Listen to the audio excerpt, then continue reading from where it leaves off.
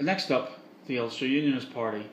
Well, again, going clipping to try and keep it as short as possible. Three things. One, I think it shows the power of picking your battles. Uh, in this case, um, going in with the DUP to do a pact um, paid off handsomely in Fermanagh South Tyrone. Uh, it all and it paid off fairly well with the DUP in East Belfast. Though you wouldn't have thought that the um, the the Ulster Unionist Party had anything to do with that. There was no mention of them in the, the speech in East Belfast. Uh, so pick your battles, I think, is one thing. I also think that that it, there's a reward here. I think for Mike Nesbitt's more urbane, less on it um, form of leadership. So that you had the social conservative running in from South Tyrone, which suits that uh, rural west and south uh, base where the party is probably at its healthiest.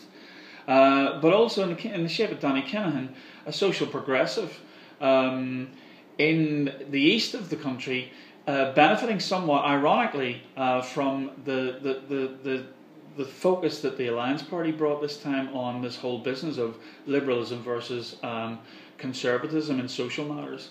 Um, and whilst the Alliance Party did well, uh, it seems that uh, in South Antrim it was a sh- straight swap for a social conservative for a social liberal.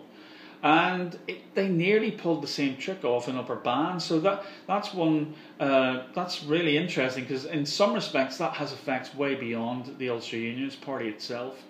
So in Upper Bann, I think David Simpson, as a social arch social conservative in a way, has been put on notice that. Um, that seat is now very competitive, um, and that um, unlike the assembly, he can't be just taken down and somebody else put in his place.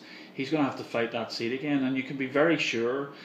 Uh, with this pick your battle strategy, that uh, Mike Nesbitt and the Ulster Unionist Party are going to spend a lot of time between now and the next general election, possibly in 2020, uh, preparing a much more aggressive and a much more focused campaign for that. So I think all in all, uh, building on the progress from last year's council election, um, I also think that probably from this we might also take that um, that the, the pact probably has worked um, much against the, um, the, the the wisdom or the the mores, if you like, of the of the, the media.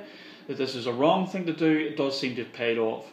The real question is can Mike Nesbitt get something back in Belfast? Um, or is that a ship that's already sailed? Uh, it's okay being strong in the countryside, but if you can't have representatives in Belfast, then um, you simply you're talking about what uh, six and six, 24, 24 seats altogether.